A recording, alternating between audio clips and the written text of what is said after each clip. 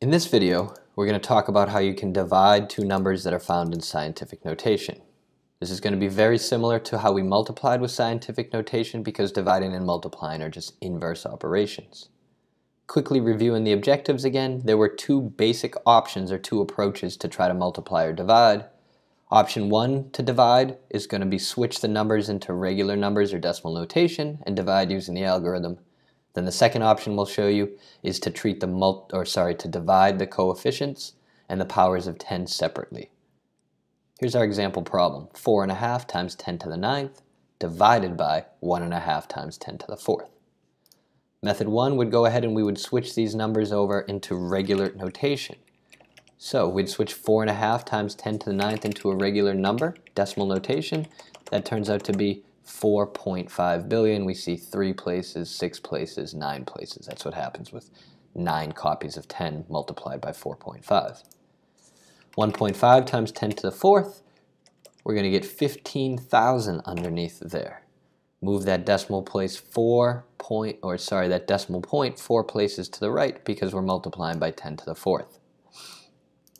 Now the standard algorithm for division, there's a nice trick. If we have zeros, extra zeros for both the numerator and the denominator, those are going to cancel each other out. We could just divide the top and the bottom by 10 and knock off zeros. So we see three zeros are going to get knocked off the top and off the bottom because dividing both the top and the bottom by 10 would just kick out zeros. Now we're down to 4,500,000 divided by 15. You could set up the standard algorithm for division, or if you know 15 goes into 45 three times, we know 15 goes into 45 three times, one second, then we could simplify that. 45 divided by 15 is just 3 over 1. And now we get to 300,000 over 1. If you have good, strong number sense with the algorithm for division, this may be a method that works for you, but as you see, there's a lot of zeros and it can be complicated. 300,000 divided by 1, if we write that into regular notation, is 3 times 10 to the power of 5.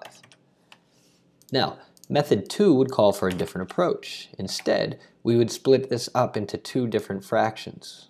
We would go ahead and we would look at, in the first fraction, four and a half, the coefficient, divided by the other coefficient, one and separately, we would handle the powers of 10. 10 to the power of 9 divided by 10 to the power of 4. Then at that point, 4 and a half divided by 1 and a half, some of you may recognize is really the same thing as saying 45 divided by 15. So I'm going to switch that, something that my brain understands better, times both the top and the bottom by 10, or move the decimal point right for both of them.